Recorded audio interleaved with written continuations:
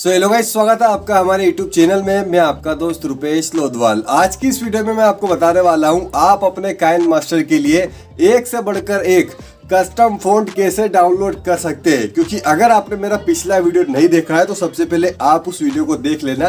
Link आपको I button और link आपको डिस्क्रिप्शन दोनों जगह मिल जाएगा। काइन मास्टर का 5.2.2 नया वर्जन आने के बाद काइन मास्टर में अब आप अपने पर्सनल कस्टम फ़ोन को एड कर सकते हैं। तो गैस फ़ोन तो हम एड कर सकते हैं, लेकिन हमको फ़ोन मिलेंगे कहाँ से? और उनको हम डाउनलोड करेंगे कैसे? ये सबसे बड़ा सवाल है, जो की आज की वीडियो में मैं आपको बताने वाला हूँ। आपको आज की इस वीडियो में मैं आपको एक ऐसी वेबसाइट बताऊँगा जहाँ पर आप हर कैटेगरी के फ़ोन को डाउनलोड कर सकते हैं और कायन मास्टर में इंस्टॉल कर सकते हैं। सारी प्रोसेस जानने के लिए इस वीडियो के साथ एंड तक बने रहे। अगर आपको ये वीडियो पसंद आए तो इस वीडियो को लाइक ज़रूर करें, क्योंकि गाइज़ हम कायन मास्टर से रिलेटेड एक से बढ़कर एक वीडियो आपके लिए लेकर आते रहते हैं। सो so गाइस करते हैं वीडियो को स्टार्ट सो so गाइस सबसे पहले आपको किसी भी एक ब्राउज़र को ओपन करना है। आप देख पाएँगे यहाँ पर मैं ओपन कर चुका हूँ। यहाँ पर गूगल भी आपके सामने ओपन हो चुका है। यहाँ पर आपको दिखाई दे रही है एक सर्च बार यहाँ पर आपको टाइप करना है dafont.com डॉट कॉम जैसे कि अभी आप अपने स्क्रीन पर देख सकते हैं। सेम एज इट इज़ आपको यही टाइप करना है। टाइप करने के बाद आपको सर्च करना है। सर्च करोगे तो पहली वेबसाइट आपके सामने ओपन हो जाएगी, जैसे कि आप यहाँ पर देख सकते हैं। यहाँ पर मैं आपको थोड़ा सा जूम करके भी दिखा देता हूँ, ताकि आपको अच्छी तरह से दिखाई दे जाए। सो so आपको सिंपली इस वेबसाइट पर क्लिक करना है। आप जैसे यहाँ पर क्लिक करेंगे, वेबसाइट आपके सामने ओपन हो जाएगी। वेबसाइट ओपन हो जाने के बाद सबसे पहले आपको ऊपर मिलेगी ढेर सारी कैटेगरी जैसे कि आप देख सकते हैं। यहाँ पर अगर आप थोड़ा सा स्क्रॉल करते जाएँगे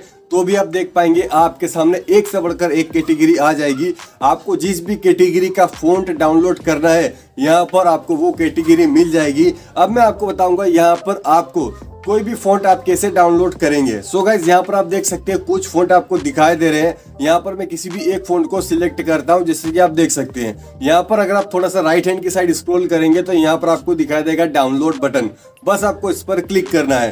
क्लिक करने के बाद ये जो फ़ोन आपने डाउनलोड बटन पर क्लिक करने के बाद डाउनलोड किया है, ये आपके फ़ोन स्टोरेज पर जाकर सेव हो जाएगा, यानी डाउनलोड हो जाएगा। हाँ तो गाइज़ हमने जो फ़ोन यहाँ पर अभी डाउनलोड किया है, अब आपको ये मिलेगा कहाँ पर? सबसे पहले आपको अपना फ़ाइल मैनेजर ओपन करना है। ओपन करोगे तो यहाँ पर आपको दिखा देगा डाउनलोड फोल्डर आपको सिंपली क्लिक करके इसको ओपन करना है। ओपन करने के बाद यहाँ पर आप देख पाएँगे।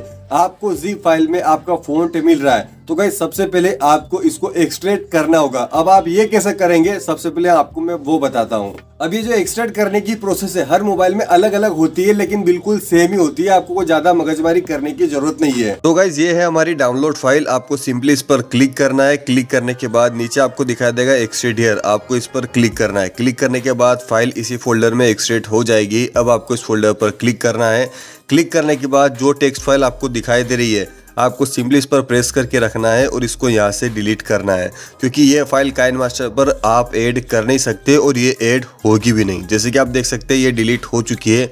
अब जो फ़ाइल आपको दिखाई दे रही है, यही हमारी फ़ोन फ़ाइल है। अब हम इसको काइन मास्टर में ऐड करेंगे। हाँ तो गाइस आपको सबसे पहले काइन मास्टर को ओपन करना है क्रिएट न्यू पर क्लिक करना है, जो भी रेशो आपको पसंद है, आपको सिंपली उस रेशो पर क्लिक करके नेक्स्ट बटन पर क्लिक करना है। यहाँ पर आप अपना फ़ोटो या वीडियो जो भी ऐड करना चाहते हैं ऐड कर सकते हैं।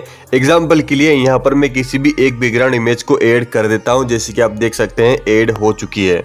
अब गैस आपको लेयर पर क्लिक करना है टेक्स्ट पर क्लिक करना है, यहाँ पर आप जो भी टाइप करना चाहते हैं, वो आप टाइप कर दीजिए। जैसे कि आप देख सकते हैं, मैंने सब्सक्राइब टाइप किया है, अब आपको ओके प्रेस करना है। अभी आप देख पाएँगे, ये डिफ़ॉल्ट काइन मास्टर का ही फ़ोन है, लेकिन अब हम इसको चेंज करेंगे। चेंज करने के लिए आपको फ़ोन वाले आइकन पर क्लिक करना है। ऊपर आप देख पाएँगे, आपको दिखाई देगा प्लस का आइकन आपको इस पर क्लिक करना है। अब गैस ऊपर आप देख पाएँगे, आपको थ्री लाइन दिखाई दे रही है, आपको यहाँ पर क्लिक करना है। फिर आप देख पाएँगे, यहाँ पर फ़ाइल मैनेजर आपको दिखाई देगा, आपको सिंपली इस पर क्लिक करना है। क्लिक करने के बाद आप देख पाएँगे आपका फ़ाइल मैनेजर ओपन हो जाएगा। यहाँ पर आपको डाउनलोड फोल्डर पर क्लिक करना है। या आपका फ़ोन जिस भी फोल्डर में आपने रखा है, उस फोल्डर को आपको ओपन करना है। सो so गैस हमारा फ़ोन डाउनलोड फोल्डर में है तो सिंपली हम इस पर क्लिक करेंगे। क्लिक करने के बाद हमने जो फोल्डर एक्सट्रेट किया था, आपको इस पर क्लिक करना है। यहाँ पर आप देख पाएँगे, आपका फ़ाइल आपको मिल जाएगा, यानी फ़ोन फ़ाइल आपको मिल जाएगा।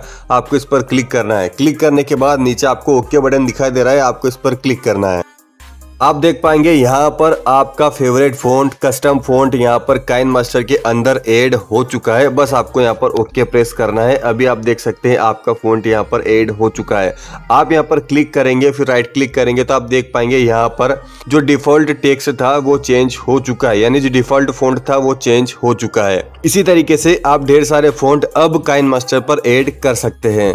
सो so गाइज़ ये था एक छोटा सा वीडियो जहाँ पर मैंने आपको सारी बातें बिल्कुल सिंपल वे में सिखाई भी है और दिखाई भी है। उम्मीद करता हूँ ये वीडियो आपको पसंद आई होगी। अगर आपको ये वीडियो पसंद आई हो तो इस वीडियो को लाइक करें चैनल को सब्सक्राइब करें और पास ही की बेल आइकन को प्रेस करें आल वाला ऑप्शन पर क्लिक करके, ताकि हम जो वीडियो अपलोड करें नोटिफिकेशन आपको सबसे पहले मिले। आपको अपनी स्क्रीन पर एक वीडियो दिखाई दे रहा है जो की आप ही के काम का है। इस वीडियो को भी देखना ना भूले। सो गाइज़ आज के लिए बस इतना ही। थैंक्स फॉर वॉचिंग मिलते हैं अगली वीडियो में। Bye bye Tata